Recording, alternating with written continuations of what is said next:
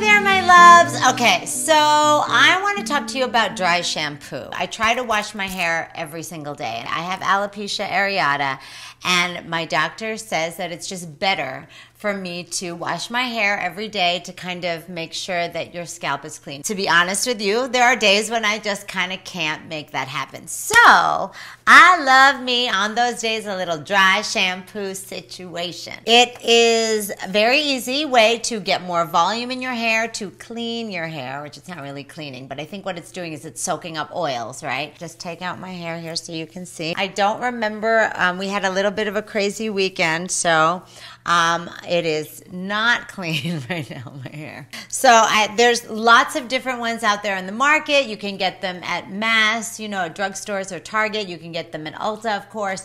You can get them anywhere in all different price points. So I've got one here that's from Ojon, one from Oscar Blandi. This is not actually a dry shampoo. This is an Oribe dry finishing spray thickening. So it says I don't I don't know if it's a volume spray, but he does have a dry spray, which is a texturizing spray. So anyway, something that's going to dry and that is going to um, sort of soak up those oils. So I have nothing in my hair right now. I have a little bit of hairspray and. Um, I just brushed it out with the ponytail so there's no tangles.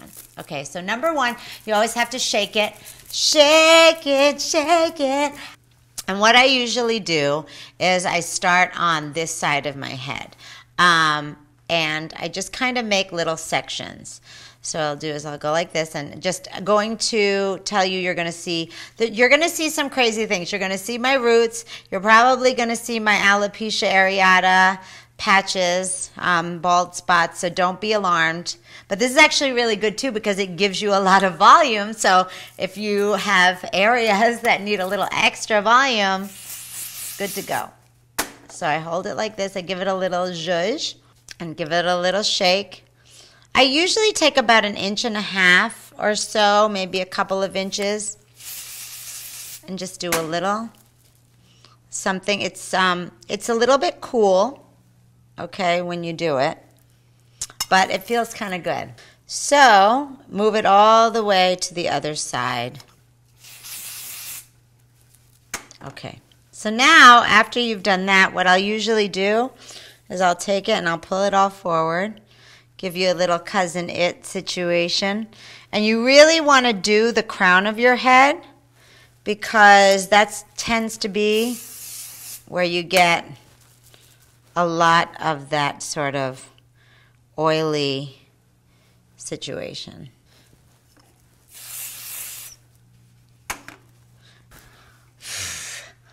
Oh, that was a lot. a little anxiety in there. Okay, so then, as you can see, it has a little bit more. And that's that. Look at you, girl. Hey. She's got a little more volume and she's all clean. Anyway, so that's that. That's just a quick, easy way to use a little bit of dry shampoo.